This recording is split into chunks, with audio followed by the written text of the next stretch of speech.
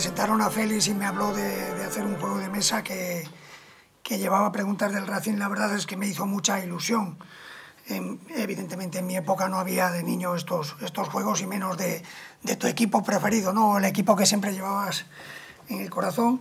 Y, pues hombre, presentarle hoy, la verdad es que me, me, alegra muchísimo que haya sucedido conmigo de presidente, porque siempre pensé que, que debía de haber un juego de mesa del, del Racing en, en, los hogares cántabros, ¿no? Para, no para potenciar más el racinguismo, que yo creo que en esta tierra lo tenemos demostrado más que sobradamente, pero bueno, es la ilusión que siempre tenía y, que este juego haya salido a la luz conmigo de presidente, de verdad que me congratula mucho. Es un juego basado en la historia del Racing, en todo, y los jugadores en el pasado, el presente, el Racing es un club con una grandísima historia, y bueno, son preguntas tipo trivial, pero apoyadas con una imagen, que es un poquito la gracia aparte que tiene.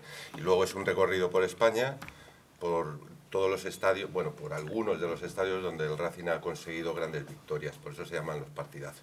Y bueno, de alguna manera sí que hemos colaborado y por iniciativa de, Tuto, porque en principio Félix le llevó la idea al, club y en el club cuando conocieron que el juego eh, eran cuestiones de historia y tal, pues enseguida nos dio, nos dio nuestras, nuestras referencias, con lo cual se lo, se lo agradezco, ¿no?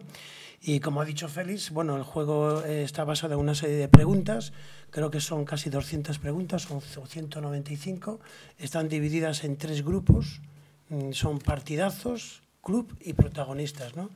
Entonces, el, objetivo del juego es llegar al sardinero y contestar positivamente, acertadamente, tres, eh, eh, tres preguntas de cada uno de los, de los grupos de, de las preguntas y con el condicionante de que eh, hay que mm, llevar eh, cuando llegas al sardinero cuatro partidazos, es decir, haber conseguido cuatro tarjetas partidazos de los 23 campos que hay por la geografía española, que se consigue contestando una pregunta de partidazos. ¿no? Y, bueno, pues los jugadores se pueden comer entre ellos, eh, eh, hay casillas como las tarjetas rojas o las tarjetas amarillas donde tienes que ir a la salida, es decir, hay una interacción en el juego pues que, que bueno, de por sí ya es divertida, aparte de, las preguntas. ¿no?